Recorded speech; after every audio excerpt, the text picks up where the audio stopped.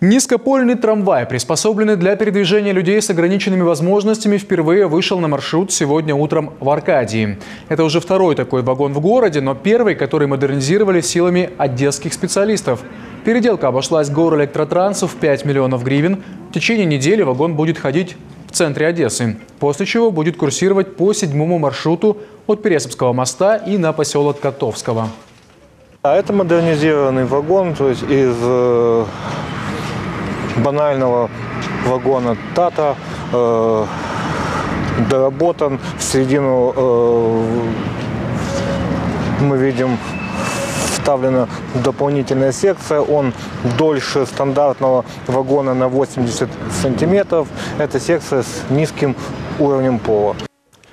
Во время презентации трамвая продемонстрировали, как люди на колясках смогут заезжать в вагон и где будут размещаться в самом трамвае. Так как э, ездить по трамваю нам не, не, не, ну, не надо, нам надо просто место, э, где мы можем стать и зафиксироваться. Место такое указано было с э, удобством, э, с аварийным, аварийным ремнем, который застегивается на груди у пассажира. Не знаю, как другие отнесутся к этому вопросу. Я же говорю, это первый этап, а потом уже будут э, делаться выводы, как дорабатывать э, остановочные комплексы, вот, допустим, под такие доработанные трамваи.